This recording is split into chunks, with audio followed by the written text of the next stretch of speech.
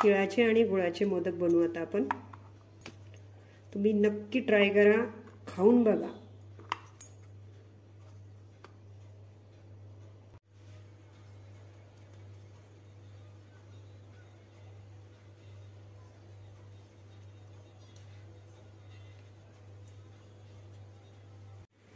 असं तर खव्याचे माव्याचे पेढ्याचे बरेच पदार्थाचे मोदक बनवता आपल्याला पण घरगुती साध्या सोप्या पद्धतीने मोदक बनवायचे जेणेकरून गणपती बाप्पा खुश आणि घरातले खुश.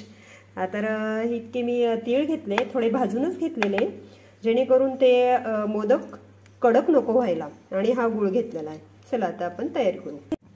यात तिळाचे शेंगदाण्याचे मोदक केले होते ना मग तीच गुळाची कढई घेतली आता. आणि आता आपल्याला तिळाचे करायचे गूळ व्यवस्थित पगळून घेऊ.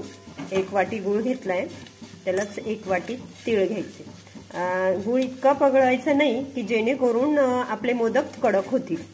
व्यवस्थित नरमच पाहिजे. कारण असं चिक्की वगैरे केल्यावर तिळाचे लाडू केल्यावर ते कडक आवडतात. पण मोदक कसे नरमच पाहिजे की नाही आता गूळ सगळा वितळून घेऊ. व्यवस्थित गुळ पगळला आहे गरम झालाय. म्हणजे पाक त्याचा झालाय व्यवस्थित.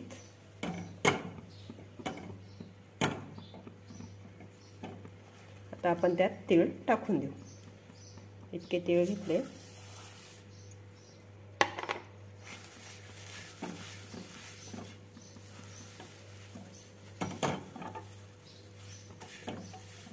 एकजीव करायचं झालं की लगेच त्याचे मोदक करायला घ्यायचे. थोडंसं थंड होऊन द्यायचं. हाताला सोसवेल इतकं.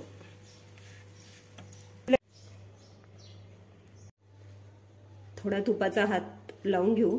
परत तेच. गणपती बाप्पाला नैवेद्य मग तूप पाहिजेच ना. अशा पद्धतीने भरून घेऊ. व्यवस्थित दाबून. थोडं गरमच आहे. पण गरम याच्यात कसं आकार पण व्यवस्थित येतो ना.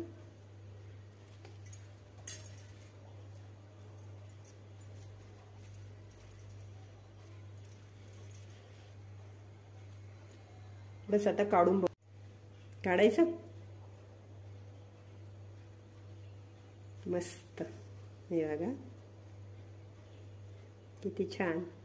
पौष्टिक एकदमच. दुसरं बाहेरचं काही आणून खाण्यापेक्षा गणपती बाप्पाला नैवेद्य छान की अशा प्रकारे आपले तिळाचे मोदक झाले तयार. तुम्ही नक्की नक्की बनवून बघा. खूप सोपे आणि खायलाही पौष्टिक. तेव्हा माझं चॅनल तुम्ही जर सबस्क्राईब केलं नसेल तर सबस्क्राईब करा.